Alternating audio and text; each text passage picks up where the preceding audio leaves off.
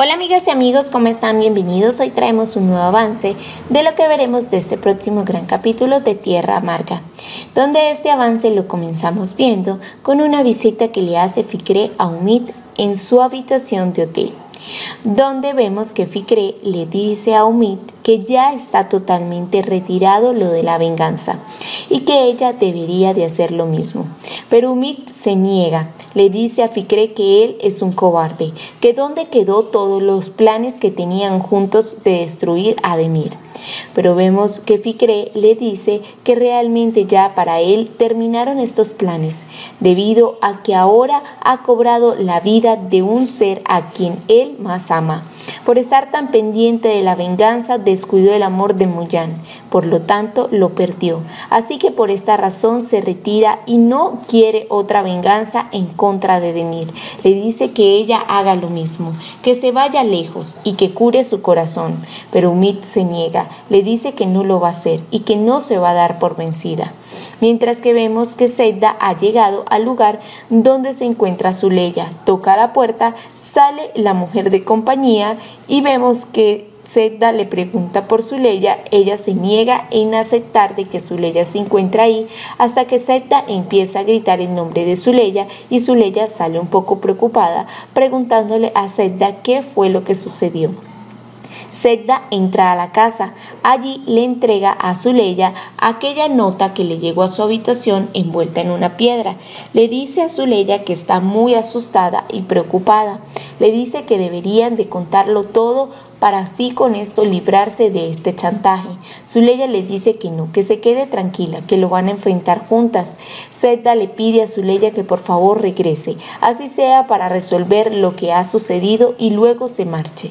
Le pide Zedda por favor a Zuleya que nuevamente la apoye con todo lo que está sucediendo e incluso Zedda le dice que ella podría echarse la culpa y decir que fue ella quien lo terminó de asesinar para que Zuleya no tenga que ir a la cárcel debido a que ella tiene a los dos niños aún muy pequeños.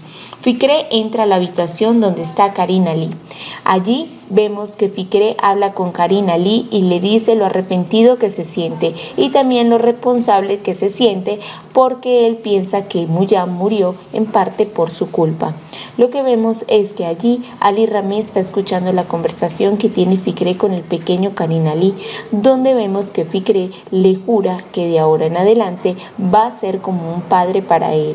Ah, vemos también que Ali ha escuchado todo esto, se sienta a un lado de Ficre y observa calladamente lo que él le dice. Lo que vemos es que Ficre le dice que él quiere ser ahora el padre de Karina Lee, quiere ser esa figura debido a que él ya ha perdido a su padre y a su madre.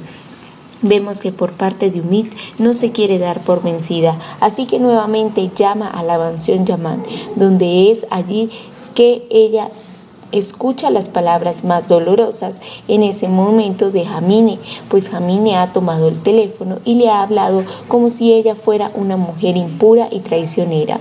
Vemos que después lo que pasa es una conversación entre Ali Ficre y la tía de Ficre, donde Ficre asegura que va a tomar cargo de Karina Ali como un padre. Le dice a su tío Ali Ramé que le permita por favor ejercer esta paternidad de este niño que ha quedado huérfano. Le dice a Ali que realmente él necesita de un padre y él será como uno para el pequeño Karina Ali. Algo que él pone en duda pues todas las cosas que han pasado con Ficre, pero Ficre le asegura a su tío que ya la venganza ha terminado y que por lo tanto puede estar muy tranquilo. Lo que vemos es que Ali termina aceptando la propuesta que le hace Ficre sobre que va a asumir la paternidad del pequeño Karim Ali, va a entregarse en cuerpo y alma a él como un padre.